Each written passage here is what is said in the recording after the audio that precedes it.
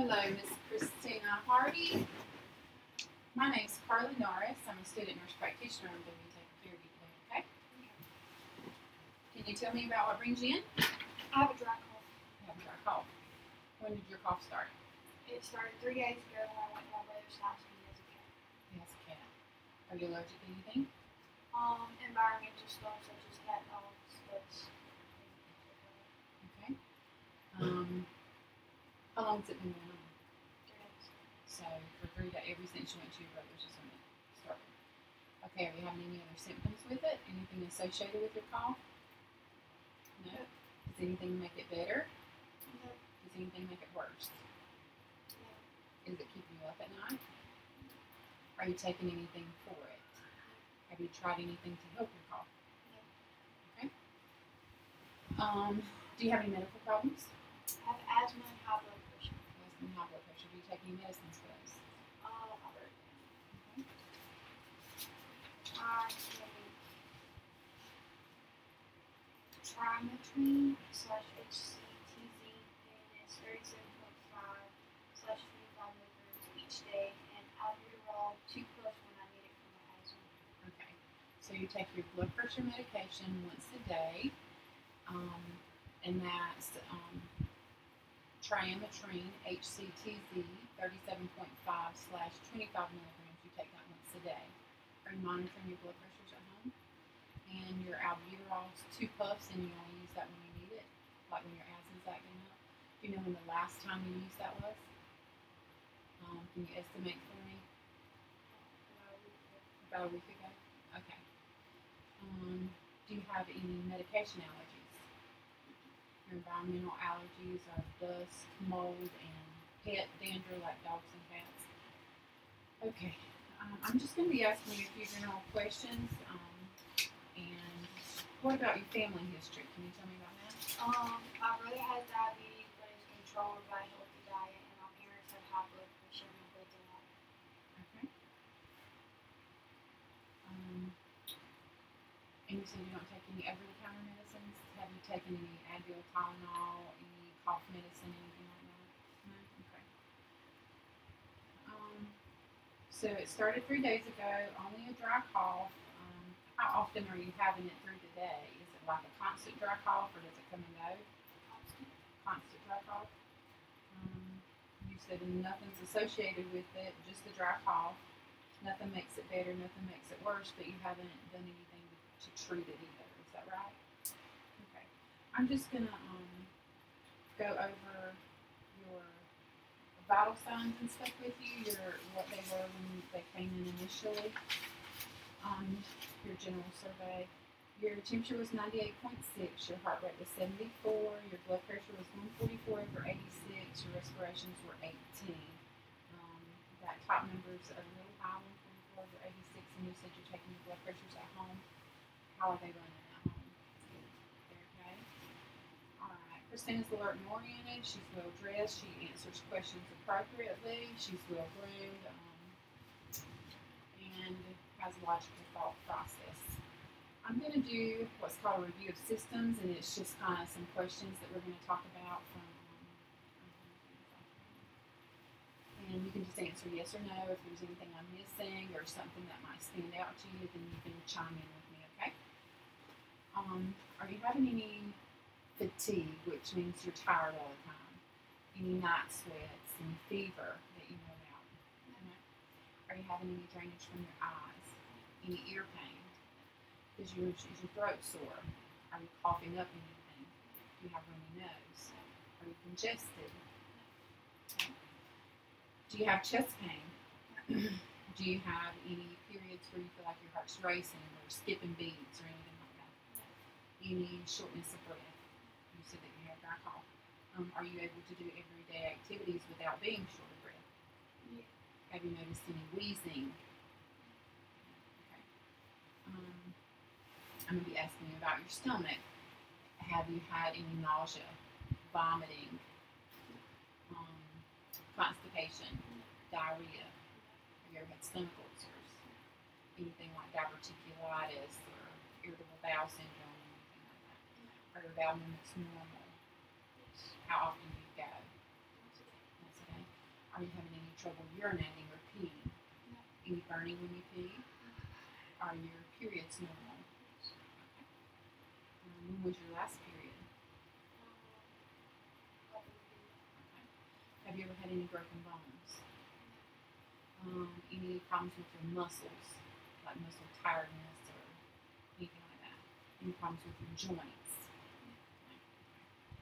Um, any problems with your skin? Do you have any rashes, any moles, um, warts, any sores that won't heal, any discoloration of your skin? Um, do you get dizzy when you stand? Do you have a history of headaches? Um, have you ever been diagnosed with depression or anxiety? Is there any family history of mental? Any thyroid problems? Any bleeding disorders? Um, and we've discussed your allergies. Um, are your immunizations up to date? Have you had a flu shot this year? You have your flu shot. Are you safe at home? Are there fire detectors in your home? Any guns present? No. Um, let's see here. Have you ever had surgery? No. Do you smoke? No. Any alcohol? Any illicit drugs? And what I mean by that is anything illegal like marijuana, crack cocaine, anything like that. No. Have you ever tried it in the past? No.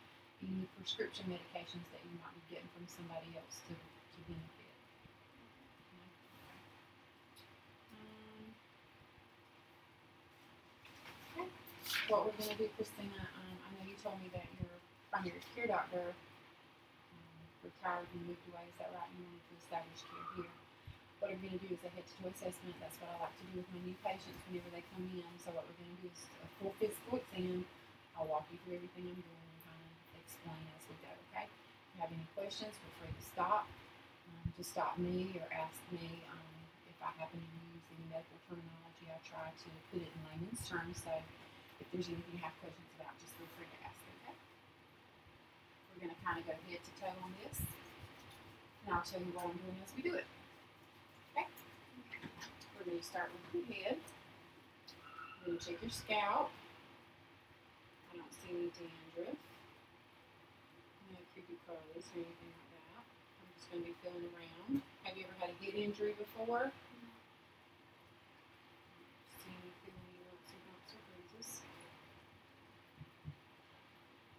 Okay, next we're gonna go to your ears. You told me that you're not having any earaches, but what I'm gonna do is look at the outside of your ear, make sure everything looks normal and is intact. And then I'm gonna check your canal on each side, and then I'm gonna look at your eardrum, okay?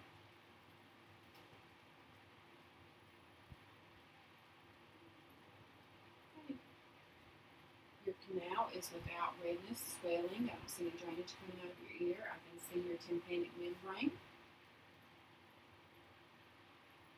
It is a pearly gray, and cone of light's at 7 o'clock on that side. Same thing here. Any pain on the outside or any pain when I touch. Okay. Normal. Your tragus and everything's intact. I'm checking your canal now. You can see your eardrum on the light at 5 o'clock. It's pearly gray. No drainage. No swelling. No redness. We're going to move on to your eyes, okay? Slide my glasses back on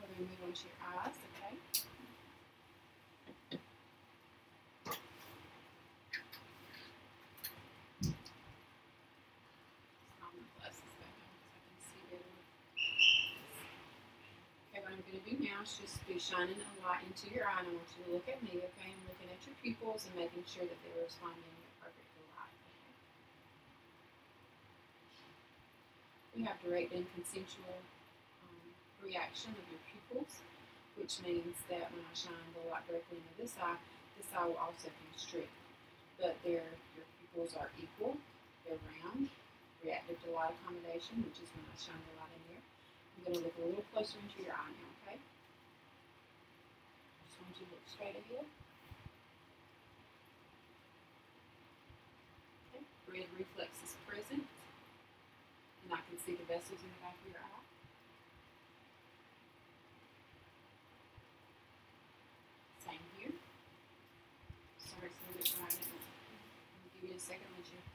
Blink your eyes. Cranial nerve two is intact. That's pupil, pupils equal round reactive light accommodation. I could also test that with the Snellen chart, which is the visual eye aid, you would read it off the chart for me, but we're, we're going to skip that today. Um, I'm going to have you follow my finger with your eyes, okay? Don't move your head, eyes only, okay?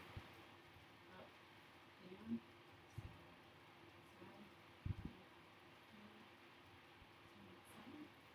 Okay, I want you to follow into your nose, okay? Very good. I don't see any nystagmus, any um, unusual movement of your eye. Okay, that's cranial nerves three, four, and six, which is extraocular movement. Um, all those are intact. Um, sensory wise, we can do a couple things right here. Soft or sharp?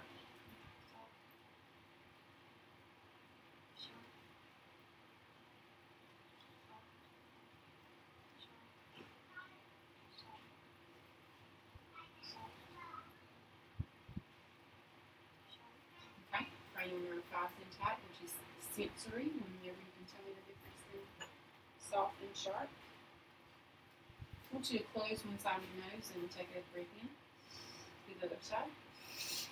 Okay, I want you to close one side, close your eyes, and tell me what you're smelling. Perfume. Okay, close the other side. Tell me what you're smelling. cranial nerve one is intact, which is your sense of smell. Okay, we're going to move on down. I've got to check the inside of the nose.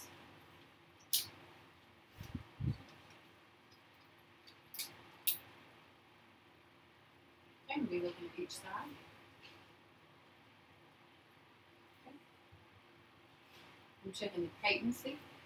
Excuse me.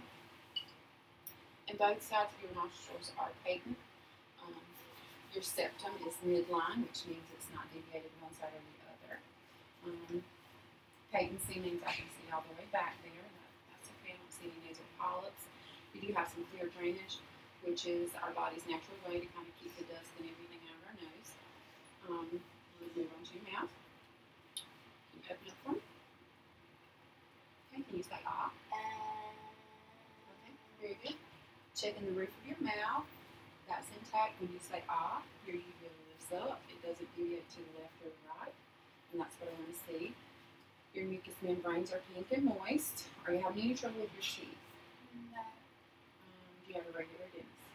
Yeah. What about um, do you wear corrective lenses or anything for your eyes? You were telling me something about your teeth. I'm sorry. Um, I have dental. You got a dentist appointment coming up? Okay. I want you to stick your tongue out. Right, lift it up. Let me look underneath. Okay, out again. Left and right. Up and down. Very good. Okay.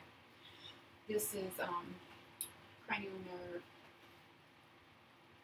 nine with the palate, checking the palate, and looking at your uvula and making sure it doesn't stick to one side or the other whenever you say ah. Um, next, we're going to check your gag reflex. Okay. Gag reflex is intact, and that's cranial nerve 10. Cranial nerve 11 is your trapezius muscles. What I want you to do is sit up and hold, lift your shoulders up for me. Back down. Up. Down. Okay, cranial nerve 12. Um, this was cranial nerve 11. Cranial nerve 12, I tested with the tongue movement, and all that was intact, okay? Um, there's one more that we need to check. This is called a Ryan's test, and what I'm just going to strike this and stick it on top of your head, and you're going to tell me if you hear both ears, okay?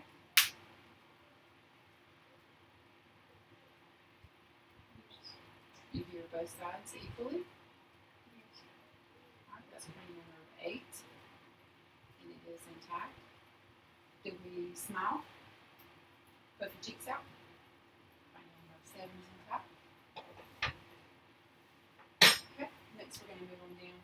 to um, check your sinuses real fast. Are you having any pain or pressure when I do this? Any sinus drainage that you've noticed? Any pain when I do this? Alright, so no discharge. You can check your lymph nodes now. This is postauricular. This is occipital. Post cervical. Submandibular. Submental. Tonsillar. And your deep cervical chain. And your supraclavicular. And I don't feel any enlargement or any masses in these areas. Um, we're going to thyroid next and have you take. And I'm going to need to get behind you to do this.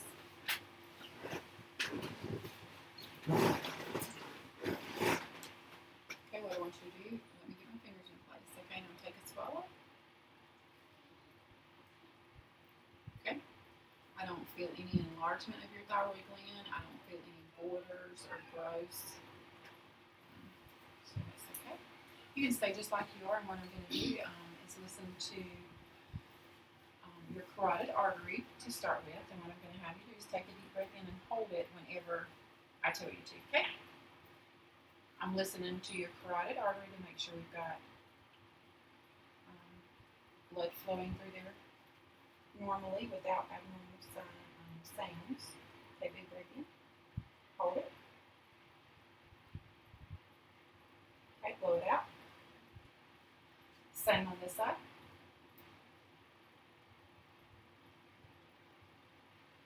Okay, blow it out. I don't hear any bruit, and what that means is an abnormal sound that we hear um, related to the turbulence of blood flow as it's um, going through your artery. Okay, I'm going to be listening to your heart next. We're going to listen to five different points. I'm going to listen to the diaphragm and the bell of the stethoscope because I hear different sounds with each. Okay, second intercostal space, mid-clavicular line is your aortic valve I'm listening to here. Okay, pulmonic.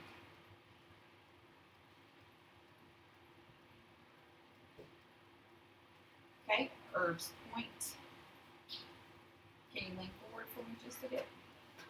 Okay.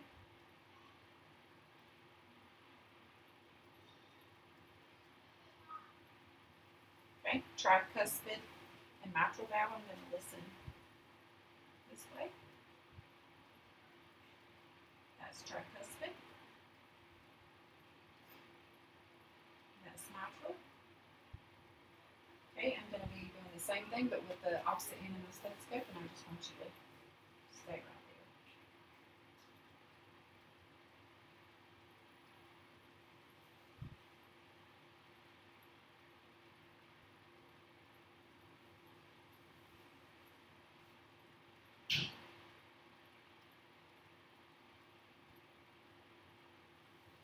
Two more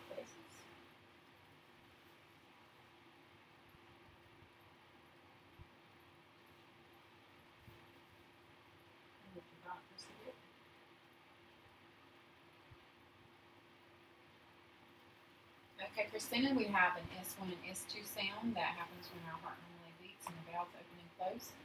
I don't hear any murmurs. Um, I'm going to go ahead and do your lung sounds while you're sitting up, okay? We're going to listen in six different spots. What I'm going to have you do is big breath in and big breath out? Okay?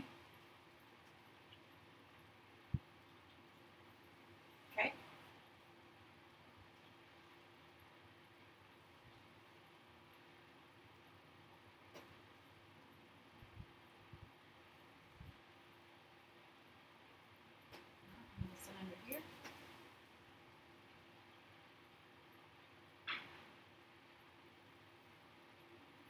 Alright, big breath in. Okay, now I'm gonna listen to that. Take big breaths for me. Six different spots. Okay, that's one. That's two. That's three. That's four. That's five. And that's six. Okay, I'm gonna have you stay just like that. And the next thing I'm gonna check is called tactile fremitus. I'm gonna put my hands on your back. I'm gonna put put my hands underneath your shirt. And what I want you to do is say 99 each time you feel me touch you, and then I'm going to move and you're going to say 99 again, okay? All right, go ahead. 99, Okay, again. 99, One more time. 99. Okay, now I'm going to check for expansion of your lungs, putting both of my hands together at the base of your back. And I'm going to look for it to separate and come back together, okay? So big breath. Okay? And we do have equal expansion with both of my hands pressed like this on your back. Whenever you breathe, it comes out and then it goes back in together. So that's symmetric. And your lungs are clear in all the different lobes. Next, we're going to do your abdomen. Okay, I'm going to sit your arm right here.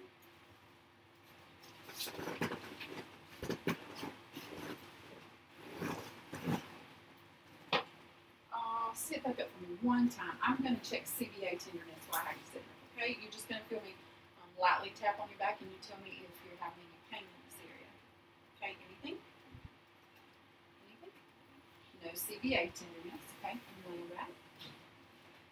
As I'm looking at the different places um, on your body, I'm always checking your skin to make sure we don't have any rashes, no sores, um, no discoloration, no moles, or anything that I'm concerned about? So right now I'm inspecting your abdomen. I don't see any scars. Um, the next thing I'm going to do is listen, okay? Your auscultate, I'm checking bowel sounds.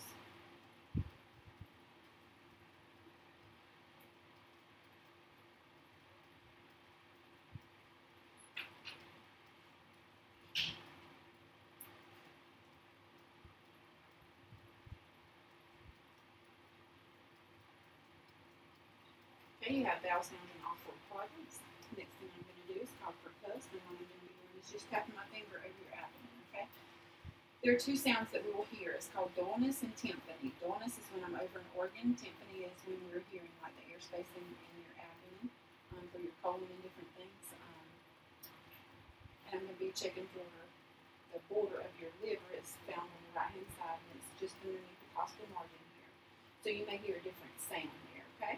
We're going to start here. Did you hear the difference? We sometimes hear it over on this side too because your pancreas is there, but um, I don't.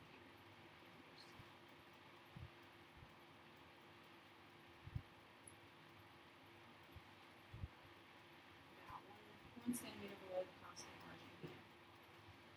Next thing I'm going to do is light um, palpation. So I'm just going to be pressing on your abdomen. You let me know if you have any pain when I touch, okay?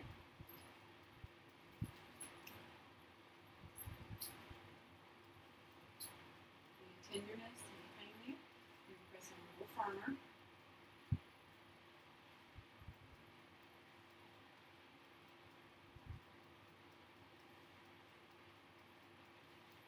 Any anywhere? I don't feel any masses or anything concerning whenever I'm pressing on your abdomen, okay? I'm going to listen to a couple more places. First thing we're going to listen for is on your aortic artery. So your aortic artery is found here. Then we have our renal arteries on each side. Then we have our iliac arteries on each side. And we also have pulmonary arteries here, okay? So I'm going to listen with my bell. Just want you to breathe normal.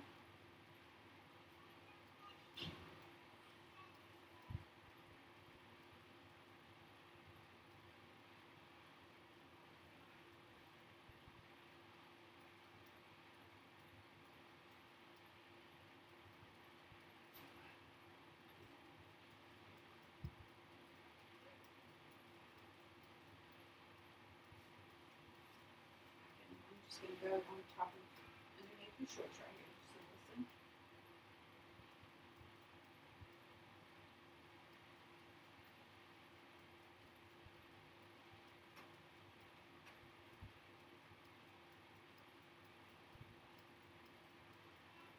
Okay, I hear normal blood flow through these arteries. I don't hear any bruit, any um, turbulent sounds whenever the blood's going through there, okay?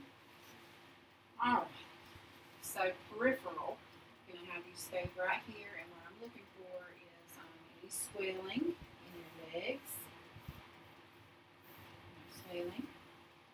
No swelling in your hands. Your skin is pink. It's warm and dry. You're going to be checking your pulses. This is your radial pulse. We've got two plus here. We've got two plus here. If we have a good radial pulse, then our brachial pulse is going to be good as well. Okay, I'm do the same down here with pedal pulses.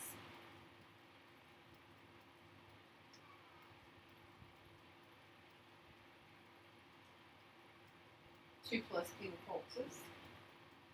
And the same with pulses at the lower extremities. We can do pedal, popliteal, femoral. But if we've got good pulses in here, we can have pulse, good pulses there. Um, capillary refill. Less than three seconds. Less than three seconds. Okay. Um, go ahead and sit up on the edge of the bed for me.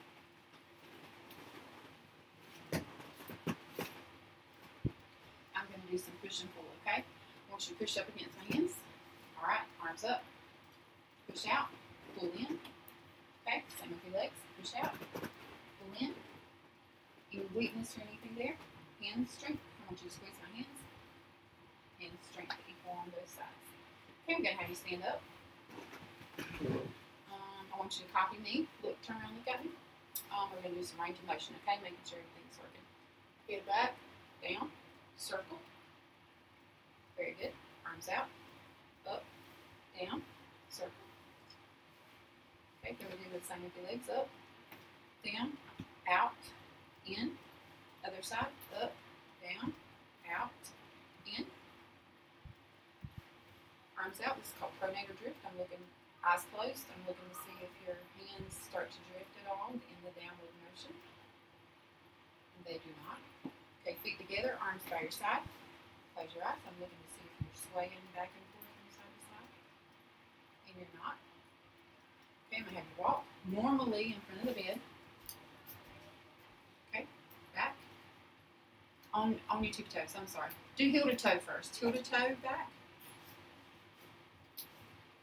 Okay, turn around. Walk on your two toes. Okay, turn around, walk on your heels. Okay? You alright? I'm having you sit down right here and I'm just gonna look and make sure you kind of get everything that you needed to. How's your time?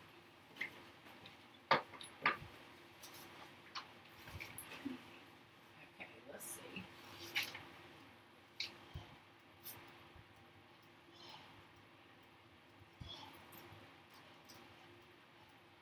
She has logical thought process. She has appropriate mood. She's alert and oriented. Um, the cranial nerves. Um, finger to nose. Out. In. Touch your nose. Both sides. Other hand. All right. Heel to shin. And um, we're do we do reflexes? We need to do reflexes real fast. Um, do you see my reflex camera? We'll be doing this on both sides, okay? This is your um, trapezius, brachial,